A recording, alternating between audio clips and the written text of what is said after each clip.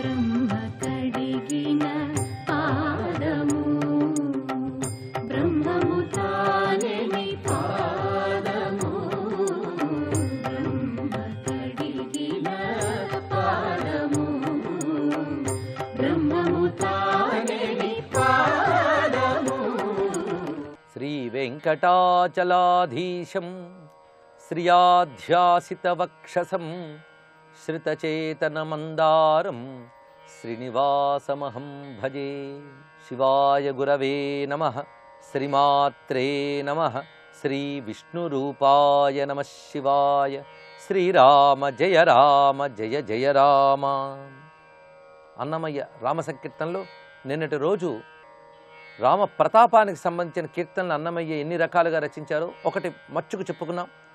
రామ ప్రతాపంపై చెప్పిన మరికొన్ని కీర్తనలు ఇప్పుడు వివరించడం జరుగుతున్నది. ముఖ్యంగా రాముని అనేక కోణాల్లో దర్శిస్తూ ప్రతాప రామమూర్తిని చూపించినటువంటి అద్భుతమైన కీర్తన ఇది. ఏమి చెప్పేది ప్రతాపము? ఎట్టి విలుకాడితడు రాముడు వీడే మృక్కుడు రణరంగధీరుడు. ఏమి చెప్పేది ప్రతాపము? రాముడనగా ప్రతాపమూర్తి. ఆ ప్రతాపమూర్తి ఎటువంటి విలుకాడు అంటే ఎట్టి విలుకాడితడు. ఆ మాటలోనే ఈయనతో సాటి అయిన విలుకాడు మరొకడు లేడు అని చెప్పబడుతున్నది. ఇదే భావాన్ని త్యాగరాజస్వామి తన కీర్తనలో అద్భుతంగా ప్రకటిస్తారు. రామబాణ త్రాణ శౌర్యము ఏమని చెప్పవచ్చు అని. రామబాణ త్రాణ శౌర్యము ఎంత అద్భుతమైన మాట అన్నారు. రామబాణానికి రెండు లక్షణములు ఉన్నాయట. త్రాణ శౌర్య. త్రాణ అంటే రక్షణ. శౌర్యము అంటే ప్రతాపము పరాక్రమము అని అర్థం. రామబాణం శిష్టుల్ని రక్షిస్తోంది గనక త్రాణ దుష్టుల్ని శిక్షిస్తోంది గనక శౌర్య. ఒకే బాణములో త్రాణ శౌర్య రెండు లక్షణములు ఉన్నాయి ఆ రెండు ఉండడం చేతనే దైవం అయ్యాడు రాజ రాజు అయ్యాడు. కేవలం శిక్షించడము బాధించడమే అయితే అతను రాజు దైవము అనరు. ఆ శిక్షకి ప్రయోజనము రక్ష అందుకే త్రాణ శౌర్యము. మరొక ప్రత్యేకత ఏంటంటే దుష్టుల్ని శిక్షించి శిష్టుల్ని రక్షించడమే కాదు తాను ఏ దుష్టుల్ని శిక్షిస్తున్నాడో తద్వారా ఆ శిక్షణ ద్వారా ఆ దుష్టుల్ని కూడా రక్షిస్తున్నాడు ఆయన. రాముని చెయ్యి తగిలిన బాణము తగిలినటువంటి రాక్షసులు ఉత్తమ గతులు పొందుతున్నారు అందుకు అది కూడా రక్షణలో భాగమే. అందుకే ఎట్టి విలుకాడితడు రాముడు వీడే మృక్కుడు రణరంగధీరుడు యుద్ధంలో ఉన్న రామచంద్రమూర్తిని ధ్యానించడం ఒక ఉపాసన. ఆ ప్రతాపమూర్తిని ఎవరు ధ్యానిస్తారో వారికి రక్షణ లభిస్తున్నది. పైగా మొత్తం యుద్ధానికి వెళ్ళినటువంటి వైనమంతా ఈ కీర్తనలో కనబడుతుంది. యుద్ధకాండంతా కూడా. అన్నమయ్య ప్రత్యేకించి రామాయణం రచించాడు అని అన్నమయ్య మనుమడు తెలియజేసినప్పటికీ ఆ రామాయణం ఇప్పుడు లభించట్లేదు. కానీ అన్నమయ్య కీర్తనలు ఒక దగ్గర తెచ్చుకున్న రామాయణ సన్నివేశాలని దొరుకుతాయి. విడిసే కపిబలము వెస సముద్రము దరి నడచే లంకపై పౌజు నానాగతుల. తొడిగే రాముడు వింట దొనలోని బ్రహ్మాస్త్రము. పడిరావణు తలలు పంక్తులై ధరణి. యుద్ధానికి వెళ్ళడం నుంచి యుద్ధం పరిసమాప్తి వరకు ఒక్క చరణంలో చూపిస్తున్నారు ఇక్కడ. విడిసె కపిబలము వెస సముద్రము దరి. ముందుగా మొత్తం కపిసేనలతో కలిసి సముద్ర సమీపంలో విడిసి ఉన్నాడు రామచంద్రమూర్తి.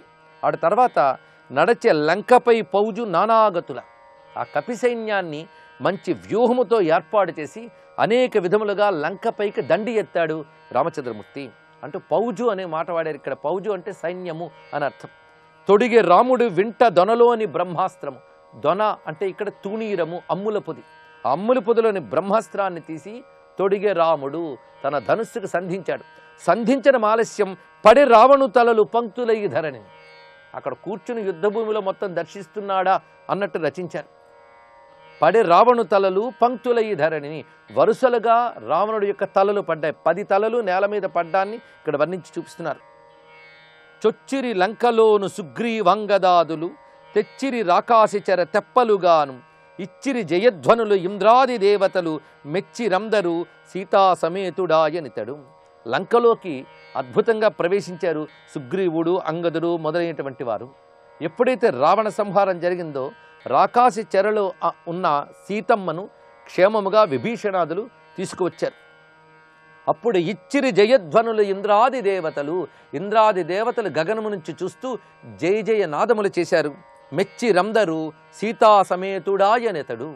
అప్పుడు రామచంద్రమూర్తి సీతా సమేతుడై మగుడి పుష్పకముపై మహిమ నితని దండు తగ బట్టము తానేలే తమ్ములతోను అగపడి శ్రీ వెంకటాద్రిపై నిల్చనితడు జగదేకమూర్తి కౌసల్యాసుతుడిపుడు. అటు తర్వాత పుష్పక విమానంపై భార్యా సమేతుడై వానర సైన్యంతో కలిసి అయోధ్యకు చేరుకుని తమ్ములతో కలిసి పట్టము కట్టుకున్నటువంటి స్వామి అతడే వెంకటాద్రి నారాయణుడై ఇక్కడ వెలసి ఉన్నాడు కౌసల్యాతనయుడు అని. ఈ కీర్తనంతా యుద్ధకాండ వర్ణన రామాయణంలో చెప్పబడుతున్నటువంటి ప్రతాప వర్ణన. ఇక్కడ రామప్రతాపాన్ని చెప్తూ ఆయన అతి అలవోకగా తన లీలను చూపిస్తాడు అంటూ ఆ ప్రతాప కీర్తన ఒక లీలా రచనగా వర్ణిస్తున్నారు మరి ఒక పాటలో. ఇందులోనే కానవచ్చే ఇన్నిటా నీ మహిమలు చెంది నీవే దిక్కు మాకు సీతాపతి రామ. రామమూర్తి ప్రతాపము మహిమలతో కూడి ఉన్నది. కేవలం మానవుడి వలె కనబడుతూ ఉన్నప్పటికీ ఆయన మానవాతీతమైన మహిమలు ఎన్నో ప్రకటించాడు.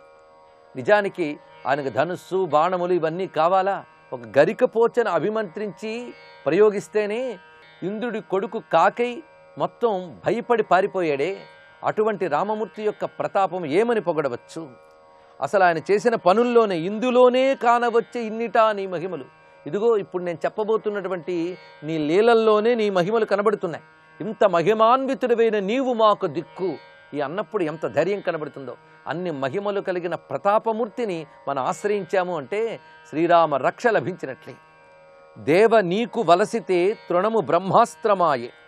భావించి రాతికి ప్రాణము వచ్చి. కావలసి ఏసితే ఆకాశము కట్లు దిగే. దైమవ వంటే నీవే దశరథరామ. దేవ నీకు వలసితే తృణము బ్రహ్మాస్త్రమాయి. నువ్వు ఎంత నరుడి వలె ప్రవర్తించినప్పటికీ నువ్వు దైవమైన నారాయణుడివని ప్రకటింపబడుతుందయ్యా నీ రామకథలో. ఎలాగూ అంటే నీకు వలసితే తృణము బ్రహ్మాస్త్రమాయ.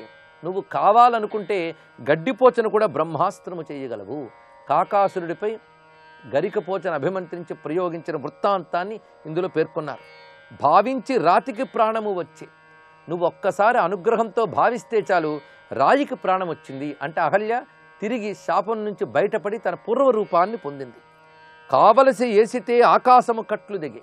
నువ్వు బాణప్రయోగం చేసే ఆకాశం కట్లు తెగి బాణముల వర్షం పడుతోందా అన్నట్లుగా కురిపిస్తున్నావు దైవమ వంటే నీవే దశరథ రామ. కూరుచుక ఏలితేను కోతులు రాజ్యము చేసే. కోరితేనే నీటిపై కొండలు తేలే. సారె కదలి వచ్చే నీ సన్నల సంజీవి కొండ. ఏ రీతి నీ సరివేరి ఎనకులరామ కూరుచుక ఏలితేను. కూరుచుక అంటే సమకూర్చుకొని. నువ్వు సమకూర్చుకుని ఏలితే కోతులు కూడా రాజ్యాలు చేసే. ఒక కోతులకి గుర్తింపు ఎలా వచ్చిందంటే నీ వల్ల. నువ్వు వాళ్ళందరినీ సమకూర్చడం చేత అవి కూడా రాజ్యాలేలే. సుగ్రీవుడు రాజ్యమేలే వృత్తాంతాన్ని ఇందులో స్మరింపజేశారు. కోరితేనే నీటిపై కొండలు తేలే. సంకల్ప మాత్రం చేతనే నీటిపై కొండల్ని తేలించాడు. అంటే సేతుబంధనం ఇది రామ సంకల్పం లేనిది ఎవ్వరూ సేతువు నిర్మాణం చేయలేరు. అందుకే కోరితేనే నీటిపై కొండలు తేలే. సారె కదలి వచ్చే నీ సన్నల సంజీవి కొండ. హనుమంతుడు సంజీవి పర్వతాన్ని తెచ్చాడని చెప్తాం. కానీ రాముని సైగతోనే సంజీవి కొండ కదిలి వచ్చింది. ఆయన అనుగ్రహం లేనిది సంజీవి పర్వతం హనుమంతుడు కూడా తేలేడు. హనుమంతుడి ప్రతాపం వెనక రాముడి యొక్క ప్రసన్నమైన అనుగ్రహ శక్తి ఉన్నది. అది దర్శించవలసిన విధానం. అందుకే సారి కదలి వచ్చే నీ సన్నల సంజీవ కొండ ఏ రీతి నీ సరివేరి ఎనకుల రామ. ఇక్కడ పల్లవిలో నీవే దిక్కు అనే మాటను ఇక్కడ కలుపుకోవాలి. ఆయన సైగ చేస్తే సంజీవ పర్వతం కదిలి వచ్చిందట. అలాంటి రాముణ్ణి నీవే దిక్కును ఎవరు శరణ పెడుతున్నారో వారికి ఆ సంజీవ పర్వతం శక్తి అయినటువంటి ఆరోగ్యము మొదలైనవి కూడా సమకూరుతాయి. సూటి నీవు తలచితే సురలు పంపు చేసిరి చాటితేనే నీ పేరు జపమాయను ఆటల నీ కథలెల్లా ఆచంద్రార్కమై నిలిచే ఘాటపు సిరుల శ్రీ వెంకటగిరి రామ సూటి నీవు తలచితే సురలు పంపు చేసిరి రామచంద్రమూర్తి అనుకుంటే చాలు దేవతలు ఆయన ఆజ్ఞను అనుసరించారు. ఉదాహరణకి సముద్రాధి దేవత రామచంద్రమూర్తి నిలబడగానే శరణు వేడింది. అదేవిధంగా దేవతలు కూడా యుద్ధ సమయంలో రామునికి అనుకూలంగా నడుచుకున్నారు. ఇంద్రుడు స్వయంగా రథాన్ని పంపాడు. ఇదంతా కూడా సురలు పంపు చేసేరి అనే మాట ద్వారా చెప్పారు. అంతేకాదు దేవతాంశులే వానరులై పుట్టి రాముడు ఎలా చెప్తే అలా నడుచుకున్నాయి గనుకనే సురలు పంపు చేసేరి అనే మాట మరొక కోణంలో కూడా సరిపోతున్నది. చాటితేనే నీ పేరు జపమాయను. అద్భుతమైన మాట అన్నారు ఇక్కడ అన్నమయ్య. రామా అని బయటకంటేనే అదొక పెద్ద మంత్ర జపంలా ఫలిస్తున్నది. సాధారణంగా జపములు గురువుల దగ్గర తీసుకుని మౌనంగా జపించాలట. అప్పుడు కానీ సిద్ధి లేదు. కానీ ఈ రామనామం ఉన్నదే అది ఎలుగెత్తి చాటిన గొప్ప జపశక్తినిస్తున్నది. అందుకే చాటితేనే నీ పేరు జపమాయను. రాముడి పేరు అంటే చాలు అదే మహాజపం. రామనామానికి మించిన మంత్రం ఉన్నదా సప్తకోటి మంత్రములు ఒక ఎత్తు రామనామం ఒక్కటి ఒక ఎత్తు అని సారతారోపనిషత్తు చెప్తున్న విషయం. అందుకే ఇక్కడ చాటితేనే నీ పేరు జపమాయను ఆటల నీ కథలెల్లా ఆచంద్రార్కమై నిలిచి. ఒక ఆటల అంటే ఒక లీలగా నువ్వు చేసినటువంటి కథలు కథలు పరమాత్మ తనంత తాను సృష్టించుకుంటాడు. మన బ్రతుకు కథలు మన కర్మల వల్ల ఏర్పడతాయి. పరమాత్మ కథలు ఆయన లీలల వల్ల ఏర్పడతాయి. ఆయన స్వేచ్ఛగా అనుకుని మాయని తన అధీనంలో పెట్టుకుని తన కథల్ని నడుపుతాడు.